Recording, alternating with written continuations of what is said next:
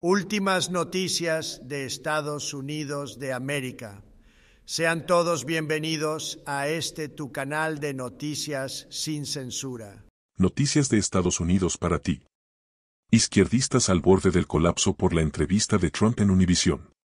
Amigos, la cadena ha tomado una acertada decisión al permitir hablar al expresidente, ya que un número cada vez mayor de hispanos tiene la intención de votar por el republicano. Hace unas semanas, el periodista de Univision Enrique Acevedo entrevistó al expresidente Donald Trump. La conversación ha enfadado al extremo a muchos izquierdistas, que inexplicablemente se indignan cuando un medio de comunicación entrevista respetuosamente a un expresidente que también lidera las encuestas para las primarias republicanas.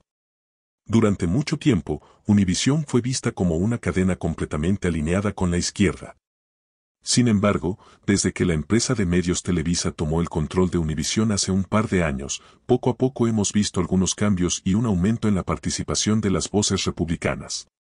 Esto debería ser aplaudido, especialmente viniendo de una empresa que afirma no tener prejuicios políticos. Patriotas, la entrevista ha enfurecido a activistas latinos de izquierda, estrellas del entretenimiento hispano e incluso algunos periodistas destacados del canal.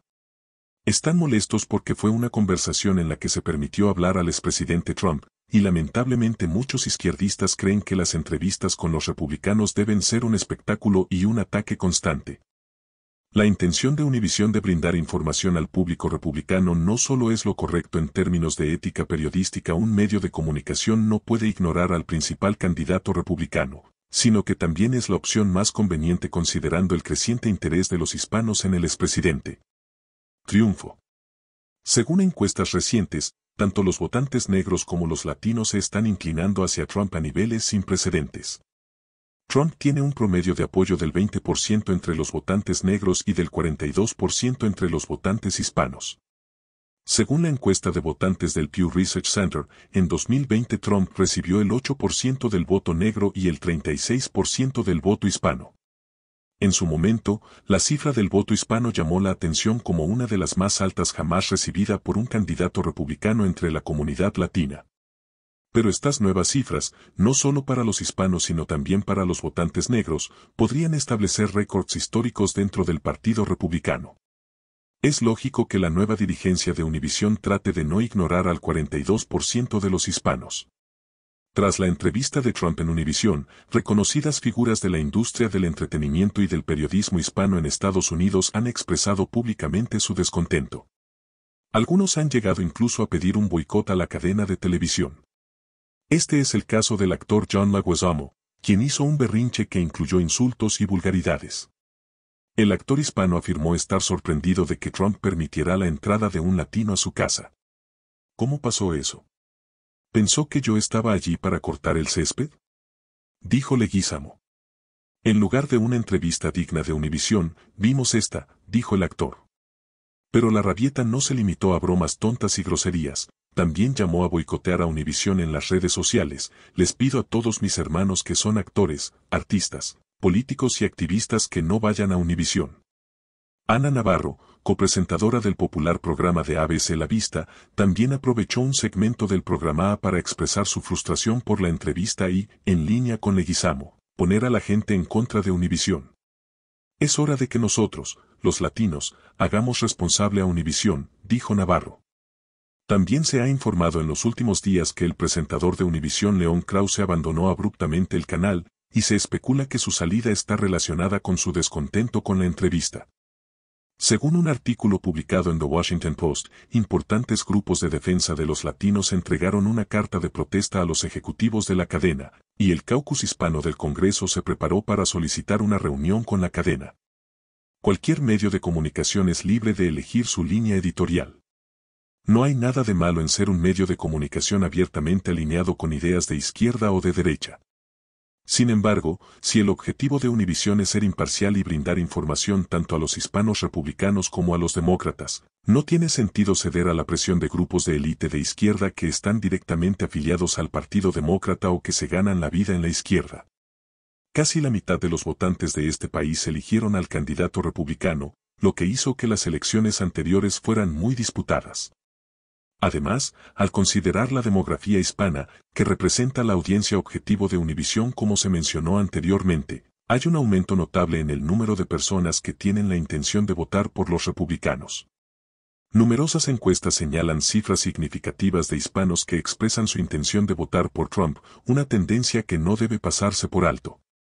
Y mis amigos te contamos que gracias a Biden, los estadounidenses gastan al mes 680 dólares más que hace dos años para cubrir sus necesidades básicas. A pesar de la bajada de la inflación reflejada en los datos difundidos por la Oficina de Estadísticas Laborales en octubre, los hogares todavía gastan más dinero cubriendo sus necesidades básicas. Datos difundidos por la Oficina de Estadísticas Laborales BLS mostraron una bajada significativa del índice de precios al consumidor IPC en el mes de octubre. Sin embargo, esto no parece reflejarse en los bolsillos de los estadounidenses. Los hogares todavía están gastando más dinero para cubrir sus necesidades básicas. En octubre, los estadounidenses promedio tuvieron que pagar 205 dólares más que hace un año para mantener su estilo de vida comprando los mismos bienes y pagando los mismos servicios.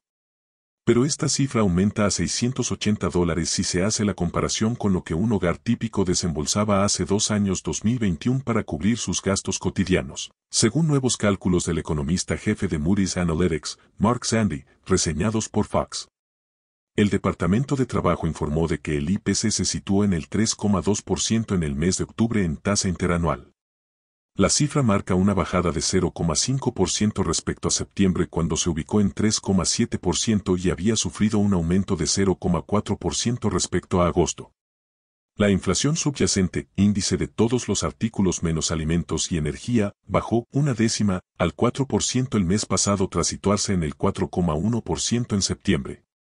Según el informe, los índices que aumentaron en octubre incluyen el alquiler, el seguro de automóvil, la asistencia médica, el ocio, la vivienda y cuidados personales, los índices de alojamiento fuera del hogar, carros y camiones usados, comunicaciones y transporte aéreo aumentaron un 0,2% en octubre, tras subir un 0,3% en septiembre.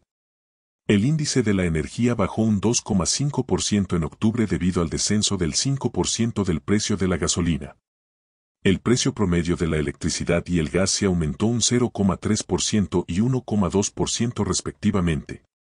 El índice que mide los precios de los alimentos fue otro de los que subió el mes pasado. Según el informe, este aumentó un 0,3% en octubre, por encima del 0,2% del mes anterior, con alzas del 0,3% para los alimentos en el hogar. Únete patriota a este tu canal de noticias sin censura y mantente informado de las mejores noticias de Estados Unidos de América. Dios los bendiga. Te esperamos.